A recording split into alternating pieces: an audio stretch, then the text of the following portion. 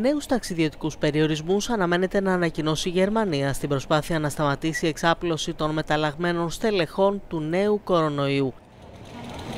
Οι νέες οδηγίες θα επηρεάσουν τους ταξιδιώτες από την Πορτογαλία, τη Βρετανία, τη Νότια Αφρική και τη Βραζιλία.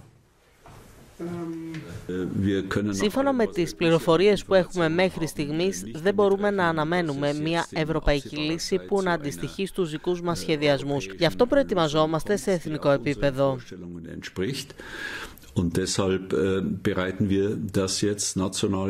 Και στην Νορβηγία κλείνουν τα σύνορα για όσους δεν είναι κάτοικοι. Εξαιρείται η μεταφορά αγαθών και η μετακίνηση εργαζομένων στον τομέα της υγείας που φτάνουν από τη Σουηδία και τη Φιλανδία.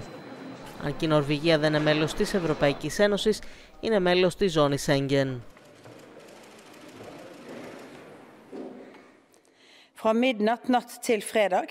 Οι κανόνες εισόδου για την Νορβηγία θα είναι οι αυστηρότεροι που έχουν υιοθετηθεί από τις 12 Μαρτίου.